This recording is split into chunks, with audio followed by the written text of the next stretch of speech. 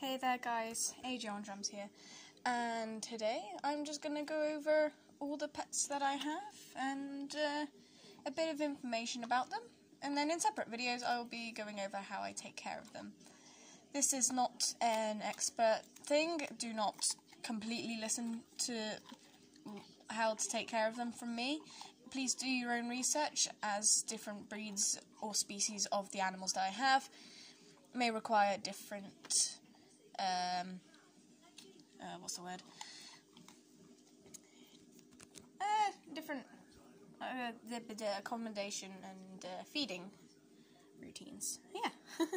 so with that, here's the first one. We have uh, my uh, Floof, uh, Springer Spaniel, Lottie. She is two and uh, an absolute nutcase see that her back paw is um, is shaved here and it is on the other leg. It's because she was out running um, the other day and uh, I don't know how, but she caught her claws on the floor and we had to take her to the vet to get them cleaned and uh, get her on some long-lasting antibiotic injection. So uh, this is this little nutcase and uh, she's on dry dog biscuits and water every day. So uh, that's her in a little nutshell. And over in this corner, we have my good boy, George, currently eating some dandelion leaves with calcium powder on, as you do. And he is a Horsfield tortoise. I don't exactly know how old he is. We were told six months, but by the looks of him, he is too tiny to be six months, so we're guessing about now about 12 weeks, probably not even that. look how tiny he is. He's a little bean. And yeah, he's uh, one of the latest additions, and he is my sweet boy. I love him to pieces. And over this way, if we uh, get past the floof, we have my fish. And we got three big goldfish, and then some, I think that's zebra minnows. I, I don't know about fish, they're not my speciality. And they're just on regular uh, fish food. So, yeah. George is on a complete tortoise diet with uh, some uh, dandelion leaves as a snack because he doesn't always like eating his food. And she's just eating, as she does. And over in this corner outside on this large hut, we have a sleepy boy.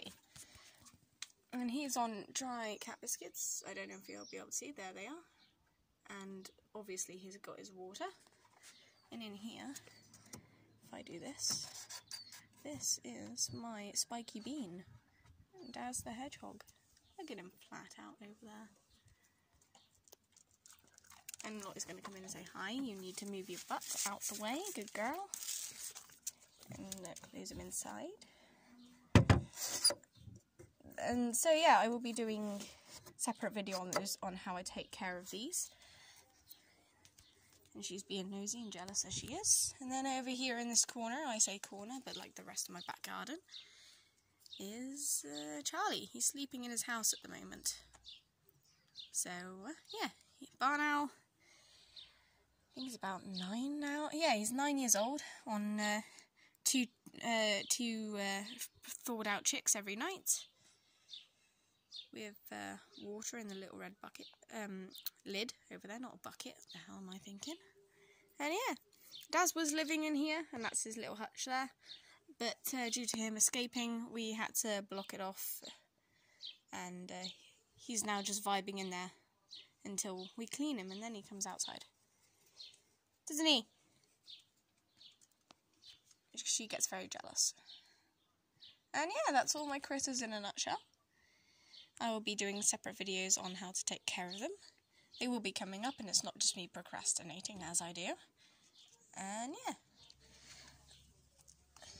Thank you all for watching and I hope to see you around on the channel again soon. Goodbye.